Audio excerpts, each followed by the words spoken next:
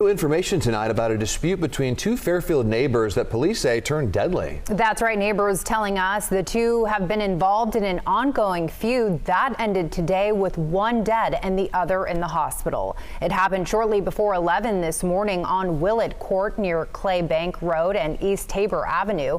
KCRA 3's Melanie Wingo is in Fairfield tonight. And Melanie, you talked with family and neighbors. What are they telling you tonight? Well, it's no secret that the two people involved in this incident had had previous run ins with one another in their neighborhood. What is still a mystery tonight is how one person ended up in the hospital and the other person ended up dead in his garage.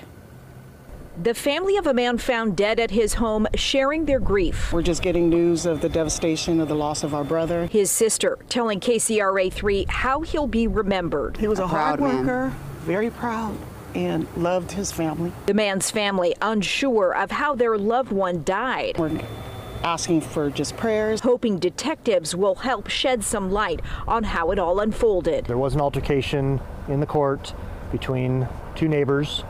Um, that altercation ultimately resulted in one person go to the hospital with a stab style wound. Police heading to the neighborhood after the injured person showed up at the hospital. The other individual who's deceased, we're not sure what he's died from yet. Fairfield detectives still piecing together the homicide, saying they've paid many visits to this neighborhood before. There is a restraining order between them. On calls related to the people involved in the incident. Unfortunately, this na some neighbors in this court have had disputes historically, and those are the ones that are involved. Those facts, part of the investigation, according to police. So is surveillance video taken from the various homes on the block and forensic evidence collected from an SUV still parked in front of the man's home.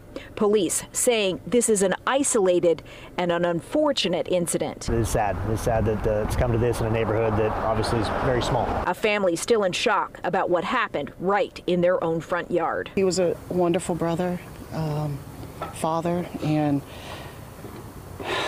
we just ask that service uh, justice be served on our behalf.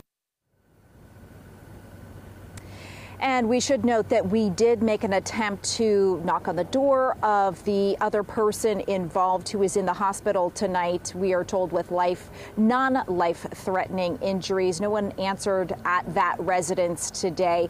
And no charges, according to Fairfield police, have been lodged in this case, but we'll continue to follow it. We do expect another update from Fairfield police on the incident first thing tomorrow morning.